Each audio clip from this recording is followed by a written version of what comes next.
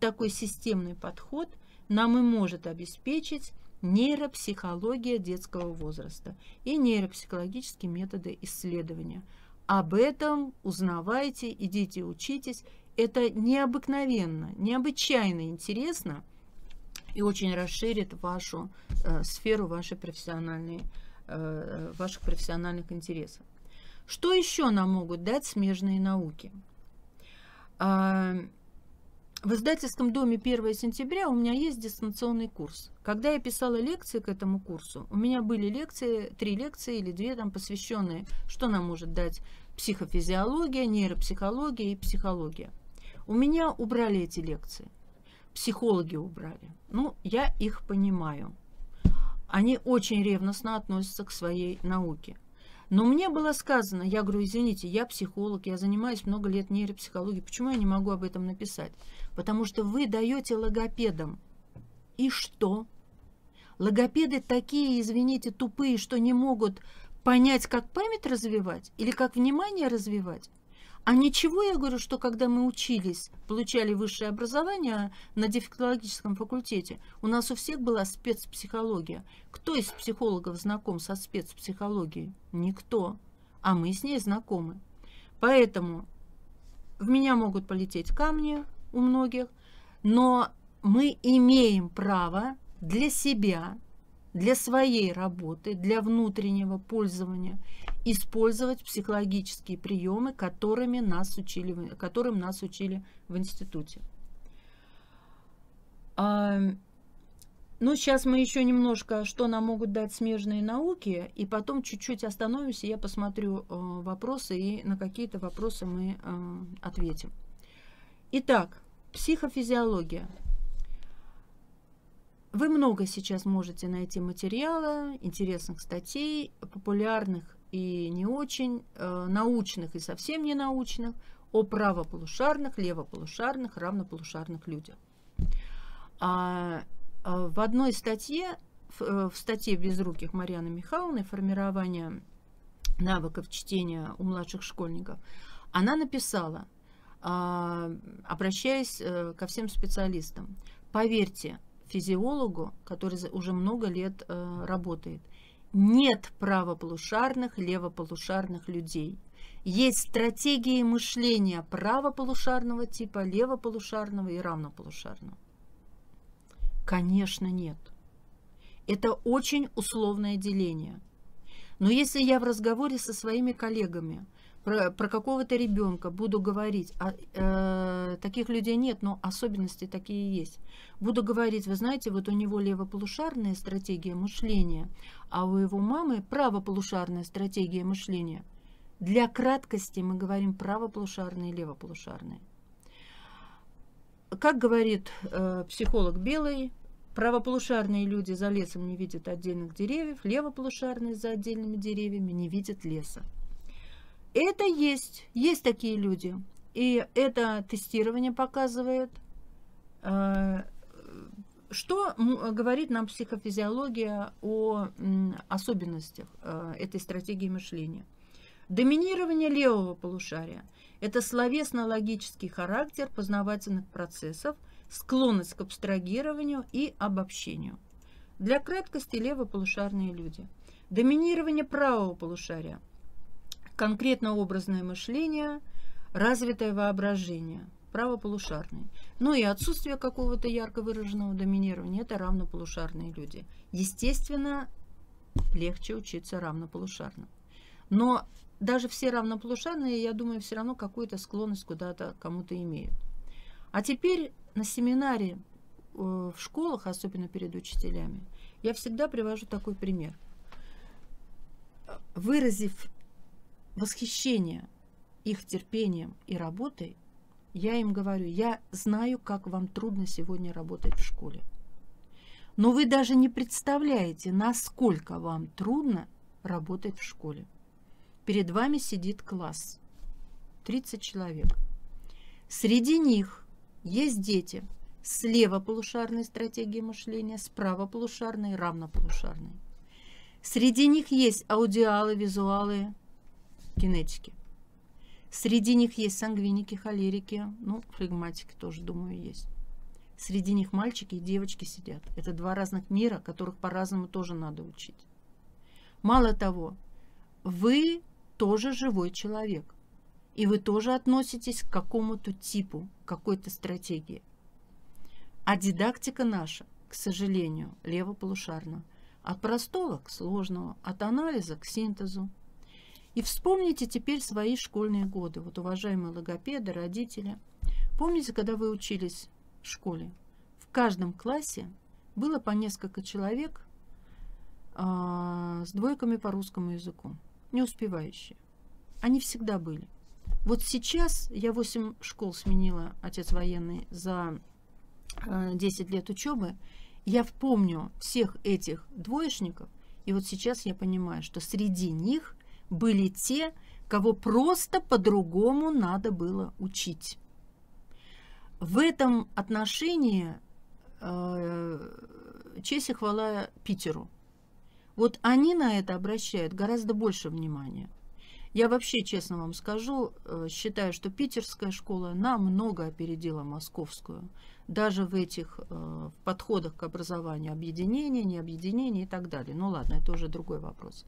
Так вот, а, у них это учитывается, и было написано много работ о том, что даже с правополушарным типом мышления ребенку лучше белая доска, а с левополушарным а, лучше зеленая или ну, темная доска.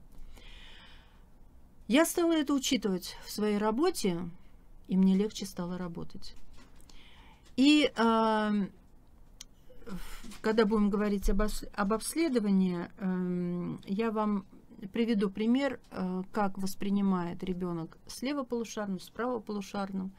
Есть тесты, мы не имеем сейчас возможности их э, вам э, рассказать об этом, слишком э, мало времени, но вы просто поинтересуетесь э, этим вопросом, но определить, какого плана стратегии мышления, тип мышления вашего ребенка, это нужно.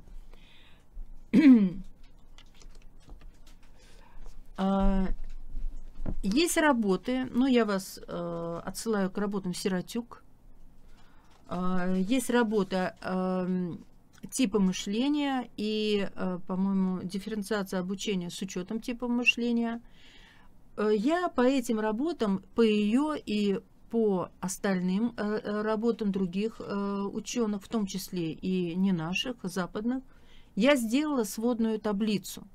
Левополушарный, правополушарный на разных этапах обучения. Кого когда спрашивать, кому, кому каким видом спорта даже лучше заниматься и так далее, и так далее. Я вам ее не привожу, вам надо самим сделать свою таблицу. Во время э, вот, составления этой таблицы вы как раз усвоите, не только узнаете, но и усвоите очень хорошо этот э, материал. И он ляжет именно на ту полку, которая нужна. То же самое про теорию полов. Есть теория полов Геодаки, она очень интересна. Почитайте, мальчики и девочки. Их не только учить, их даже ругать по-разному надо. Их наказывать по-разному надо. Хвалить по-разному надо. Вот эта школа, где уч, э, пишут эм, ручкой, я вам показывала, вот самая заставка первая, там классы мальчиков, классы девочек. И это дает свой плюс. Так, ну теперь давайте посмотрим э, вопросы.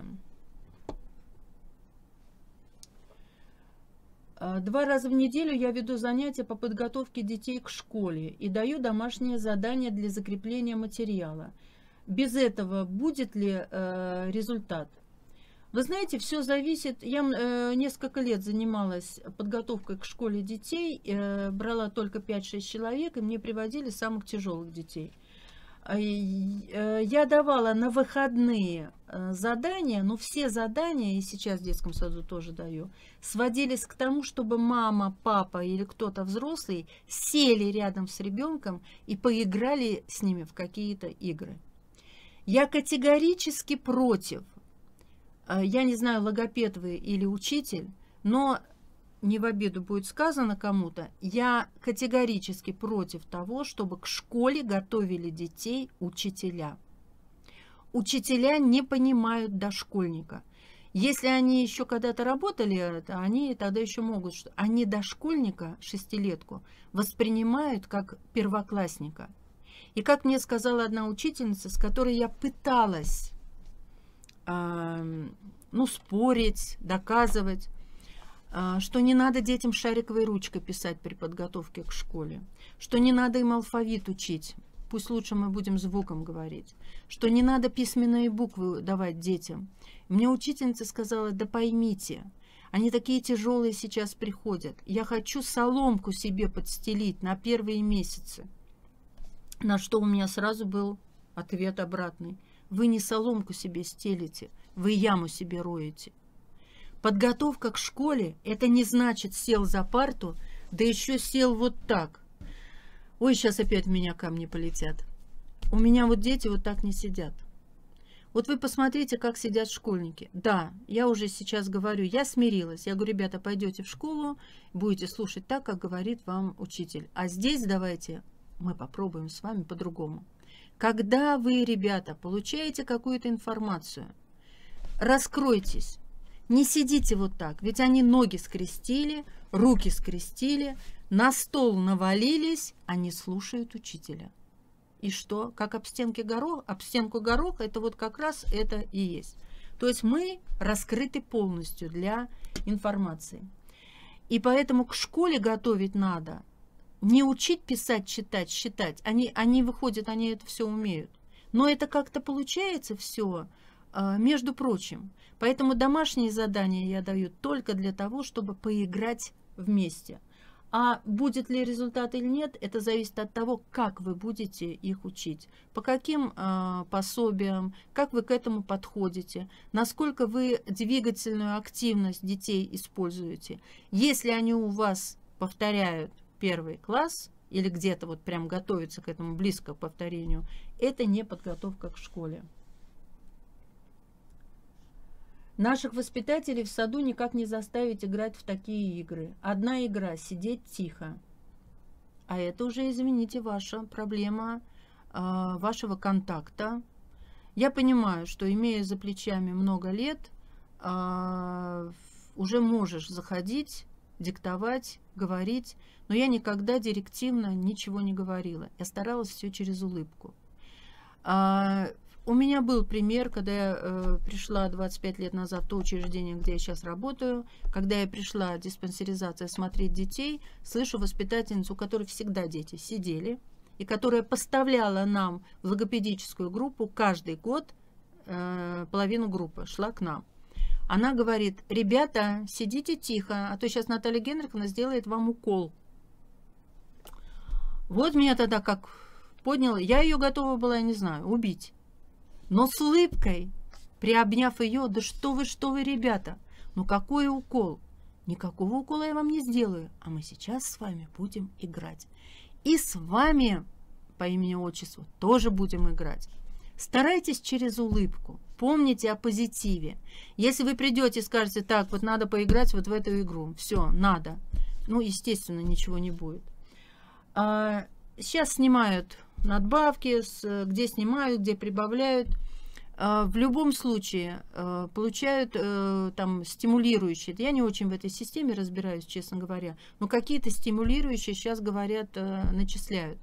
Вы можете защитить своих воспитателей и сказать, когда э, написать служебную записку, что мои воспитатели оказывают мне большую помощь, если они не получают никаких надбавок.